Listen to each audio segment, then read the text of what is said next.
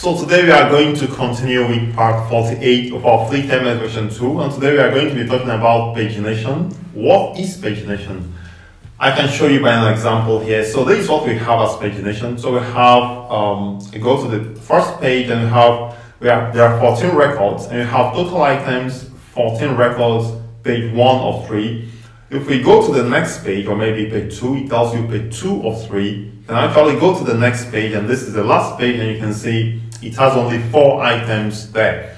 Now to show you how it works, I'm going to just add one more country Let's say I add another country, let's say Slovakia, and the code is LVLLL, okay, SL. And I save, now you can see we have 15 items, and we have page 1 of 3.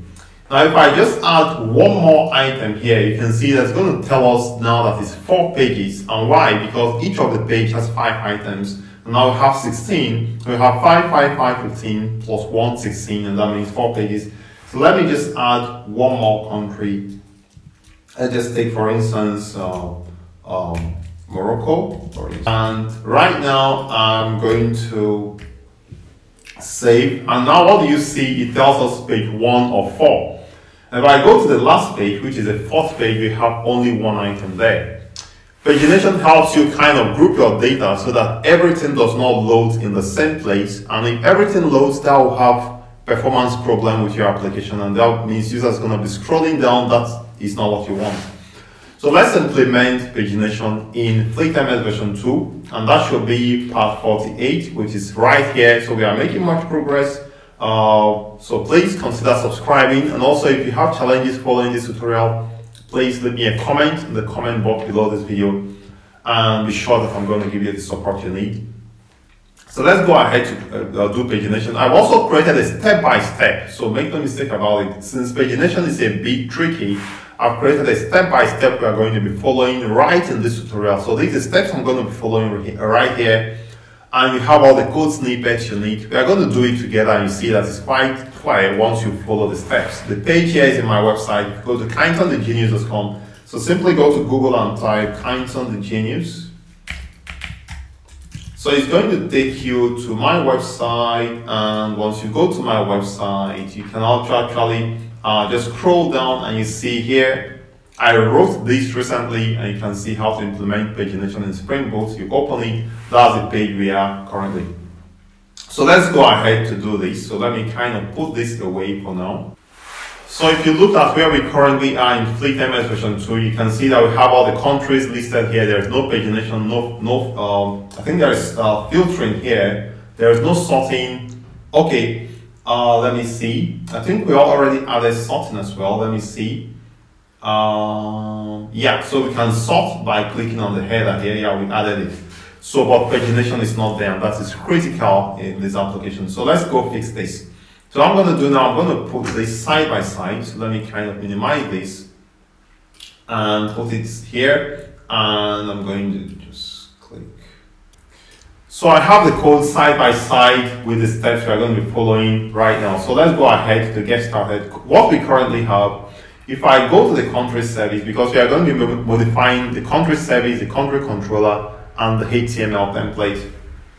So if I go to the country, um, the country service, which is actually this one, you have find all. So find all is not paginated, it returns everything as you can see, find all, okay?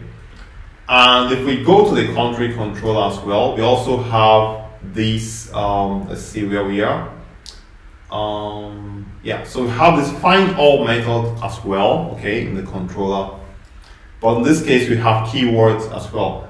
And we also have the countries as HTML, which is this one, and for now we don't have anything in the footer. So the first thing we are going to do now is to modify the service. So let's go to the service. Now this find all here, we are going to modify it, or rather, instead of modifying it, we maybe just write another method, okay? We'll write a new method called find page, okay? This method takes an int parameter, which will be the page to return, the return type is page and not list. Make no mistake about it. So we are going to be returning a page and not list. So in this case, we have list of country here. We are going to actually be returning page of country and it's going to take the parameter, an integer parameter, which represents the page we are going to return. Or actually, yeah, the page we are going to be returning.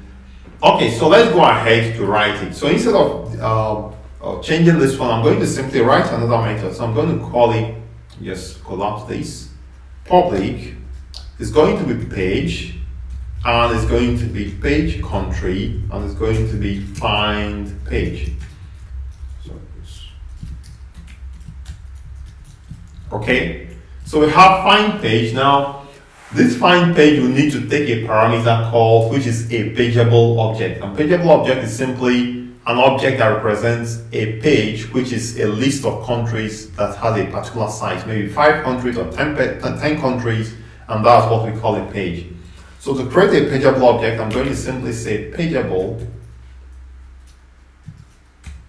Pageable, uh, pageable is equal to page request dot of, and I'm going to specify the page number, uh, and so have the page number and the size of the page. So for now, let me just say, assuming I have page number one and the size of the page is five, okay? Or let's say page 0 and the size of the page is 5 and let's say we have int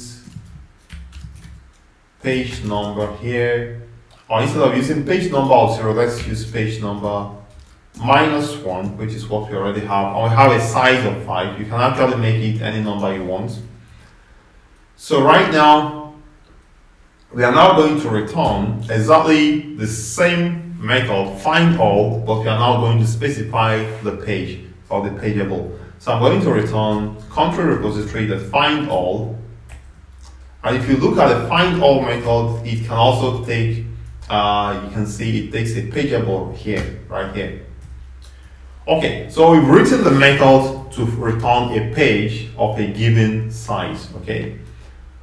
The next thing we are going to do now is to go to the controller and modify the find all method to actually call the find page method instead of calling the find all method.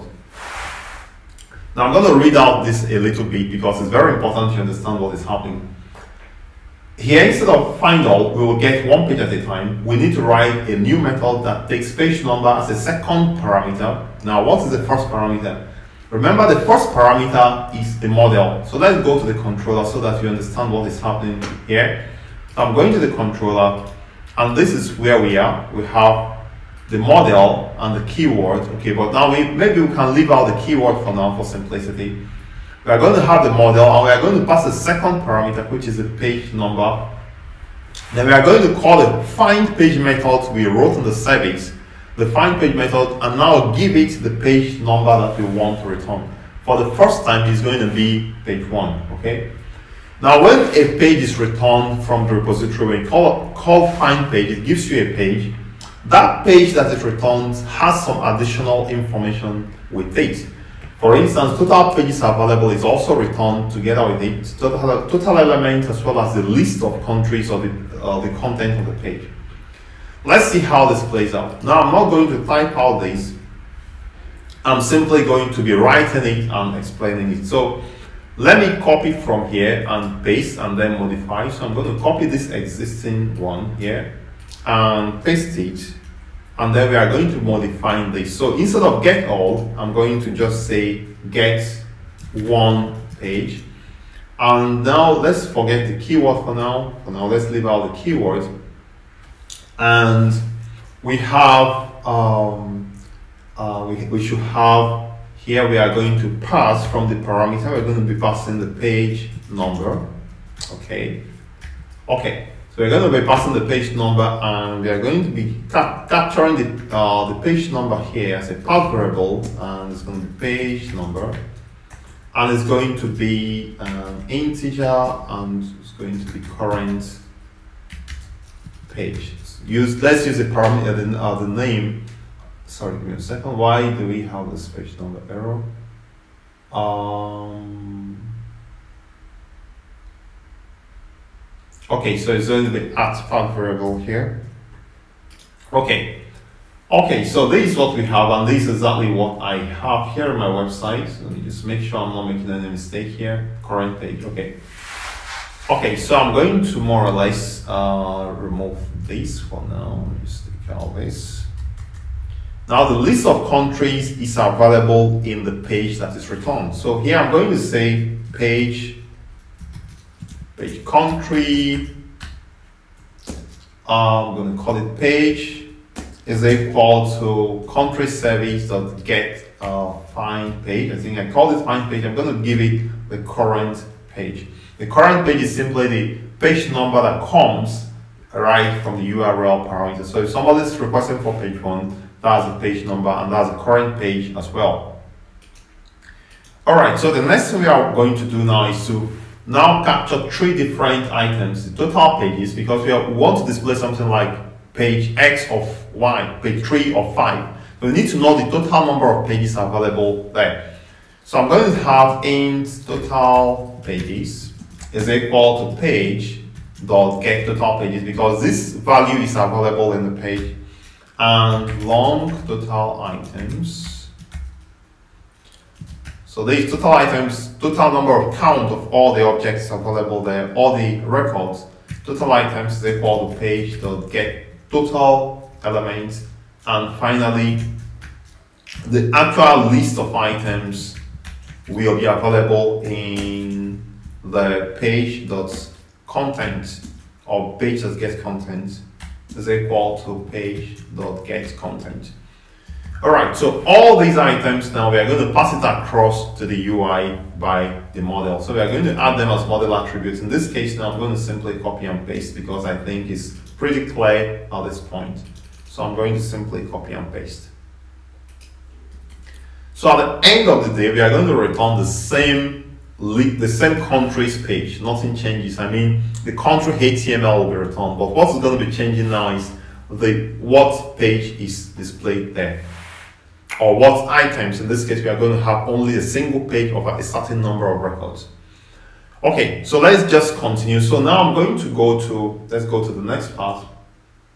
Yeah, so we have another method we're going to write. We're going to write a method called get first page. So if a user goes without clicking any page number, he goes to slash countries, it's going to display only the first page because he has not actually paged or selected any page. So while you, you call the initial display of country list is going to be default to the first page, you're going to call the first page. So now there'll be a method that actually calls get one page initially and is going to display the first page and this is it. So this function here basically replaces this one. So we have get all pages, we have get all, and I'm actually going to comment this one out at this time.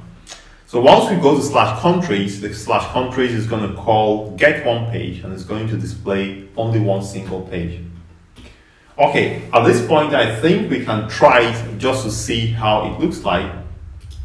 So I'm going to um, stop this application and then relaunch it. So I'm going to relaunch it and let's see what we have. So hopefully it's going to start up without any error. Um, yeah, good, it starts up. And now I'm going to drag this one out. I'm going to refresh the page. And it says, uh, okay, so, okay, sorry. So it was actually using uh, the existing URL. So now you can see that we have only five pages displayed right here. Only five pages displayed. So this is the first initial page. Now we have to worry about displaying the navigation below this table. That's the next step we are going to take now. We are going to display the navigation. So, but for now, I hope this is uh, quite clear how to page. Um, actually, to display the navigation is quite clear. So let me just kind of um, see. So let me just let's quickly do it because I actually don't want this to take so much time. So let me, let me display the navigation by going to the countries of HTML right here.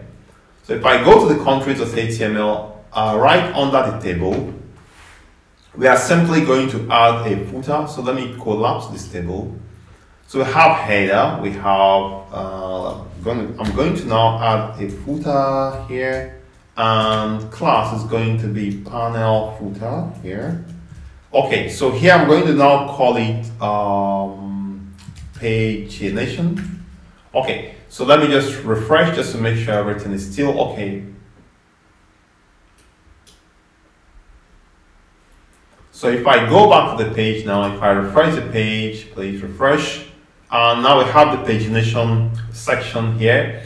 And what I'm going to do now is I'm going to, um, first of all, display total items. So I'm going to copy and paste, or maybe I'm going to just write it out.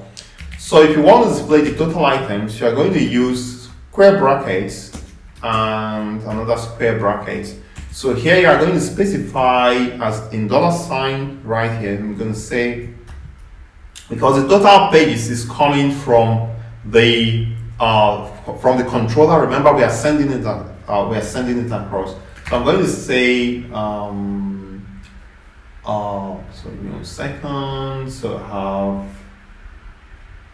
have um, say total items, total items, and it's going to be total items and yeah so these going to be total items put this someone here and it's going to be page page what? And the page is also coming see here so have plus sign?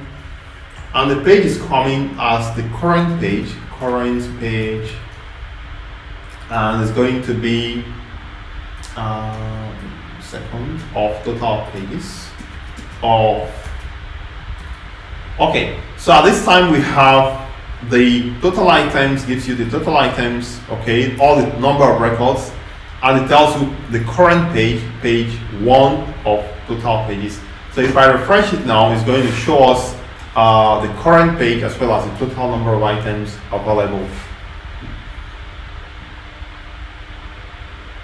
So let me come here and then refresh and now you can see it tells us total item 16 and page 1 of 4 okay so to avoid making this video to be too long I'm going to stop here. And in the next part we now continue with pagination. Hopefully this is very clear to you. Try to get your head around it. And if you have challenges do let me know. So in the next part we now continue to display um, the the buttons of I mean the the page the page numbers. And that is clickable so that you can click from one page to another.